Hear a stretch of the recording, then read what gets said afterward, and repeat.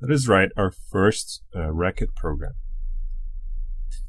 In Racket, uh, everything evaluates down to a value.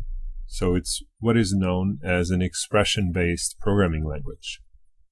So what we'll see is that this is a, in these boxes, I will give um, the syntax, the formal syntax of writing Racket. What you see is that there's this header uh, called hash hash or pound lang and then Racket and then in the next line you have zero or more expressions. So what is an expression? That's what we'll learn today. A Racket, as you will see, has no end of sentence delimiters. So for instance, in C or in Java, you have semicolons that delimit the end of sentence uh, or a statement, how is, how is known there. Uh, in Racket, you don't have such a thing. Uh, and as you, as it is customary, Racket evaluates the, the program from top to bottom, left to right. Some programming languages don't define even an evaluation order, but in Racket we do, and that is crucial. Actually, it's very important in the homework assignment number one. So when you have this box, and you have the equals here, what we're defining is we are defining what a program is.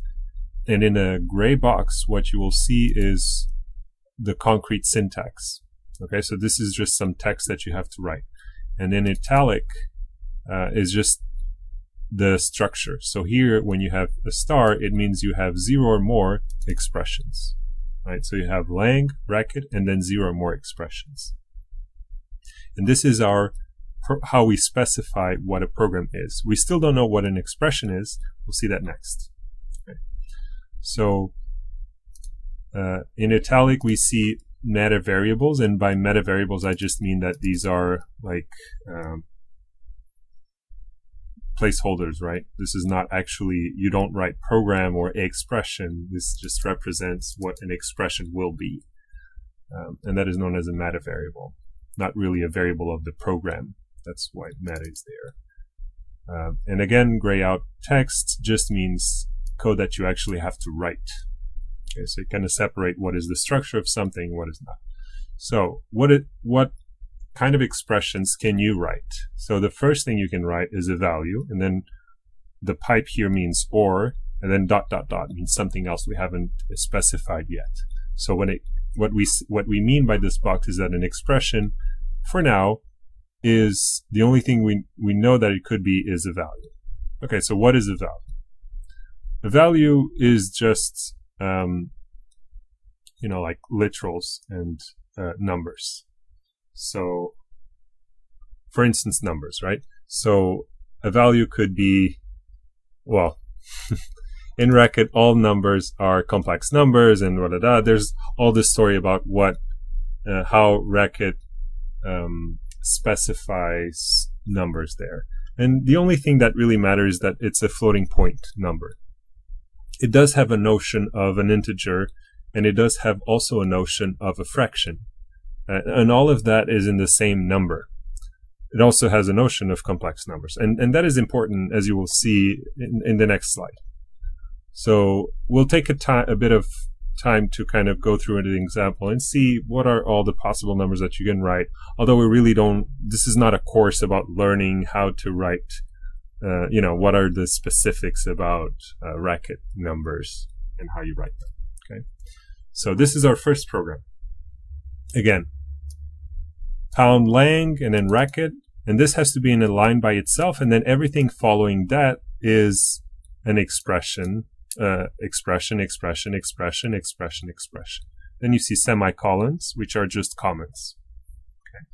So when I write this code, uh, you will see essentially multiple variations of or multiple possibilities of, of numbers. So you can see that there's a number 10 here uh, that is unsigned. So as usual, it's, it's assumed to be a positive number. And you can prefix with a plus. So it means the same thing than before. And you can also prefix with a minus. That means minus 10, right? The negative 10. And then you can also represent a complex um, number by putting the um, real and the imaginary part, and you have to add a suffix with i for the imaginary part. You can also write fractions, and in this case, one third, right? Or you can write also floating points. But here, there's a few things that are important, and I want to see by means of an example. So first, I'm going to uh, run this example, and then we're going to do notice a few subtleties of this very simple program that just has lots of numbers. So first thing that might be surprising for you is if you run this program, first of all, that you can just write numbers in a file and run Racket and something happens, right? Usually if, you think about like uh, Python or um, or C or Java, like C and Java actually really require you to define a function uh, to be able to even write, run something. But in Racket, similarly to Python, you just write whatever you want and it will execute it. But unlike Python, it kind of actually prints out something. So this is when you run Racket, this is going to be the output. But let's see, see what's going on here. So if I change to this window, this is the editor that I that I'm using. And in this course, I really don't care what editor you use. You can use whatever you want. I don't care. Uh, this particular one is VS Code. Uh, and I use a very plain looking um, theme that just makes the contrast a bit better, hopefully, for you. So on the left hand side, you see the editor and you see the line numbers and you see the code. And on the right hand side, you will see the terminal. Okay. And I can write stuff here and it will appear uh, and uh, it's a Linux prompt. So in this course, I assume that you know how to, to, I expect you to know how to run the Linux prompt or the Windows prompt or the Mac OS prompt. So you, you need to use some prompt. Uh, if you want to use an IDE like DrRacket, that's up to you. Uh, just make sure you don't fall into traps of your particular IDE. Okay, so because ultimately your uh, for the sake of the homework assignment, your script is going to be run in, in the grading software, not in your IDE. Okay. Okay, so this was kind of a digression. Let's go back to the example in question. So what we have again is just six lines, six different ways to write numbers. Um, and the way I run it is hopefully you have racket on the command line. And then the way you run it is you do nums uh, dot racket because that's the file name here. Uh, and if I call racket, um, I see the output exactly what I had in the um, in the slide, right? And I will note that okay, so I have one, two, three, four, five, six. So I have one, two, three, four, five, six uh, numbers being displayed. I will note that by default, the plus sign is doesn't show on screen, so it's not displayed, but the negative sign is, uh, except when you have a complex number, uh, where, you know, to distinguish between the, the imaginary part, you kind of use the plus sign or the minus part sign. Uh, and then if you write a rational number, it does show up unchanged. So we'll kind of see, we'll, we'll play a bit with this expression to see how, how it changes. Uh, and then you have a fixed point. And one thing that is important to note is that these two numbers are not the same because one third means, you know, the infinite 03333. And here you're kind of, it's a fixed, uh, point, uh, 0, 3, 3 and exactly these two, no, these two, uh, decimal points, which is very different from 33333, as you know. Okay, so let's play around with this to see what happens. So first of all, I'm gonna remove the comments. Okay. First of all, I'm gonna remove the comments. I'm removing each comment. Now I have the same code without comments. Okay, so I save it and I run it again and I have exactly the same output as you would expect, right? Now, what I'm gonna do is I'm gonna write all the code here Okay? All in the same line. Right? And if I run all the code in the same line, what do you think is going to happen?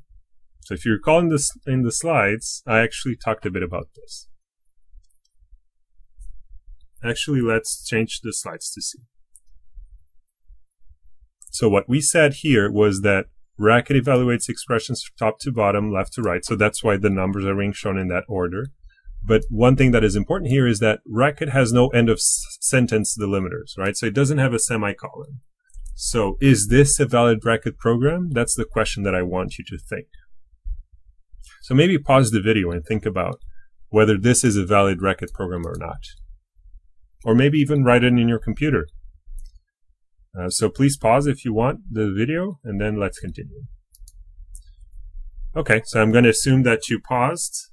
Um, and if you run this, because there is no end of sentence, right? There's no way to define what is the end of an expression.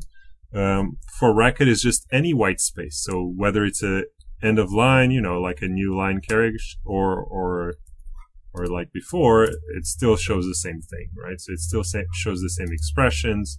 They can all be in the same line. You can add spaces. Um, it just needs to have at least one space, right? So here, if I remove this, what happens?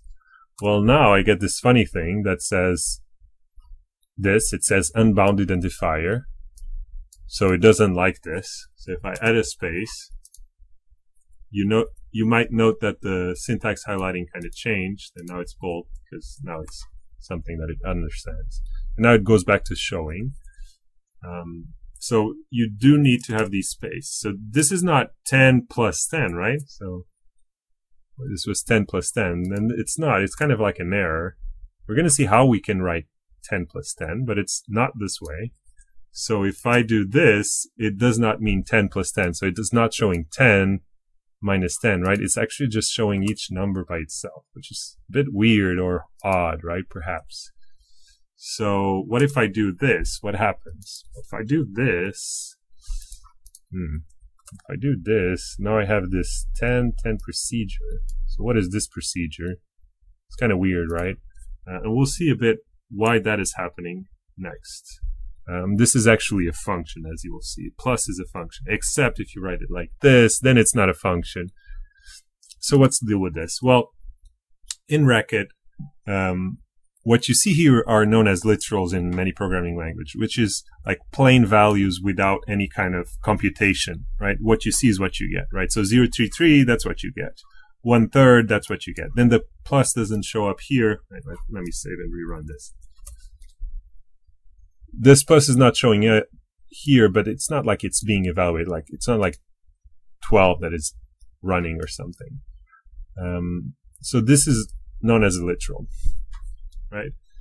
Um, but if you have something like 10 plus 10, now this is an expression because you have to add 10 and 10 together to get 20, right?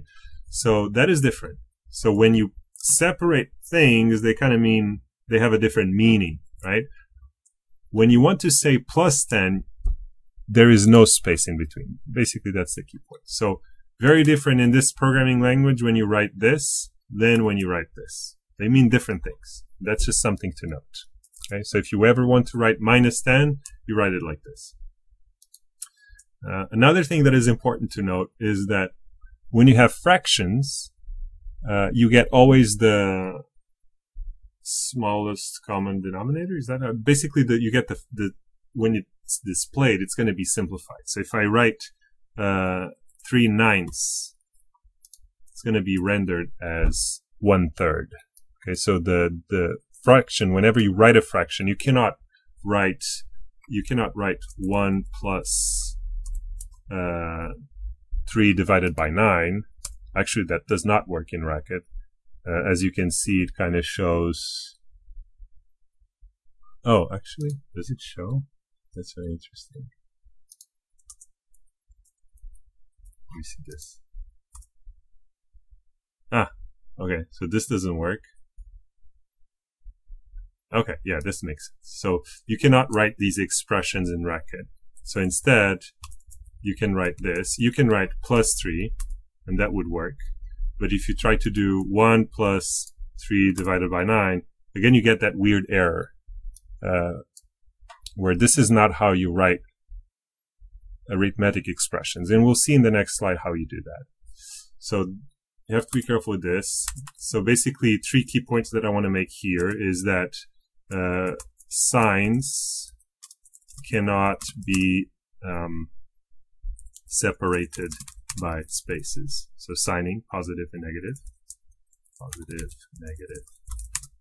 Secondly, what we want to say is that fractions uh, are displayed, are simplified. Simplified before being displayed. Uh, and thirdly, fractions are not uh, evaluated to floating points, right?